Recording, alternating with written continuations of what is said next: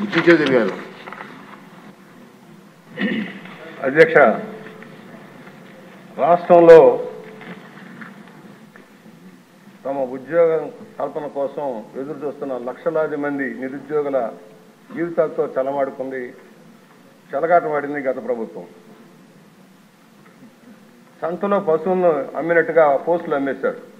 మంత్రి గారి దృష్టిలో ఉందని అనుకుంటున్నాను. పాపం జగన్మోహన్ రెడ్డి గారికి ఇది పీనట్. ఏందే? ఒక డిప్యూటీ కలెక్టర్ పోస్టు రెండున్నర కోట్లు మాత్రమే. ఒక డిఎస్సి పోస్టు కోటిన్నర మాత్రమే. ఒక నూట యాభై కోట్లే. పాపం మా వారికి ఏముందా ఇది పెద్ద పెట్ట వేల కోట్లు దోసుకున్నాడికి ఇది లెక్కలేదు కాదు. అందువల్ల కానీ పేద విద్యార్థుల జీవితాలతో చల్లగమాడారు నూట అరవై రెండు పోస్టులకి గత ప్రభుత్వంలో చంద్రబాబు గారు నోటిఫికేషన్ ఇస్తే ప్రభుత్వం మారాక ఆయన పబ్లిక్ సర్వీస్ కమిషన్ని సొంత జాగ్రత్తదారులాగా వాడుకున్నాడు. అక్కడ పిఎస్ఆర్ ఆంజనేయులు పెట్టాడు గౌతమ్ సామాంగని చైర్మన్గా పెట్టాడు తను చెప్పినట్టుగా ఆడించాడు. మూల్యాంకనంలో ఏదైతే ఉందో అత్యధిక మార్కులు వచ్చిన వాళ్ళు ఫెయిల్యూర్ అయ్యారు సార్. వాళ్ళకు ఉద్యోగాలు రాలే. ఇంటర్వ్యూల్లో మాత్రం టాప్ మార్క్ ర్యాంకింగ్ ఇచ్చారు. దానివల్ల బీసీ ఎస్సీలకు చాలా నష్టం జరిగింది. బీసీ ఎస్సీ ఎస్టీలు చాలా నష్టం జరిగింది. మేము అడుగుతా ఉన్నాం హైకోర్టు చెప్పింది మూల్యాంకనం చేసి కొత్తగా మీరు నిర్ణయం చేయమన్నారు. హాయ్లాండ్లో కూర్చొని నిర్ణయాలు చేశారు.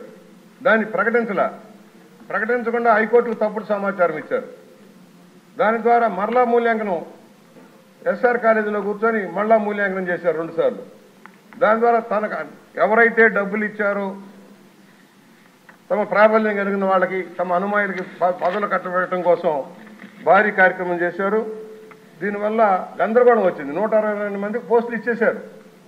తాంబూలాలు ఇచ్చాం తన్నుకు చావండి అన్నట్టుగా అయింది కార్యక్రమం. ఇవాళ ఎవరైతే బాధితున్నారో వాళ్ళు కోర్టుకు వెళ్ళారు. ఇవాళ కోర్టు జ్యూరిడిక్షన్లో ఉన్న ప్రభుత్వం నిర్ణయం తీసుకోవాల్సిన అవసరం ఉంది. ఎందుకంటే న్యాయం చేయాలి నిరుద్యోగులకు న్యాయం చేయాలి. అసలే పోస్టులు తక్కువ. గ్రూప్ టూలో కూడా అదే జరిగింది. మంత్రి గారు దృష్టికి తీసుకొస్తున్నాను అధ్యక్ష. గ్రూప్ టూలు కూడా సేమ్ అదే పరిస్థితి వచ్చింది. గ్రూప్ వన్లో ఎలా జరిగిందో గ్రూప్ టూలో కూడా అదే జరిగింది. భారీ ఎత్తున చేతులు మారింది డబ్బులు. ఎవరైతే సర్వీస్ కమిషన్లో తమ దా తమ మనుషులను పెట్టి దోపిడీ చేస్తారో వాళ్ళ మీద చర్యలు తీసుకోవాలి. సెక్రటరీ కావచ్చు చైర్మన్ కావచ్చు.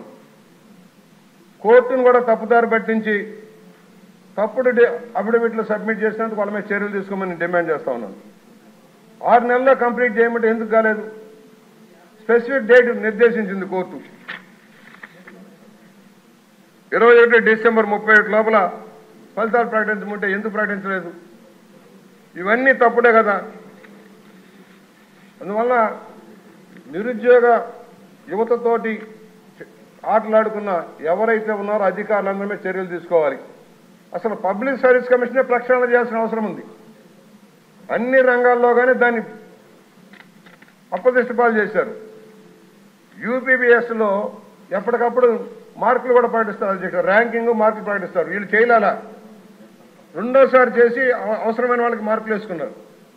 కనుక మంత్రి గారిని కోరేది నూట అరవై రెండు మంది అర్హత లేని వాళ్ళు ఎవరైతే వచ్చారో వాళ్ళు తొలగించడానికి ఎలాంటి చర్యలు చేపడతారు? కోర్టులో పెండింగ్ ఉందంటే కాదు.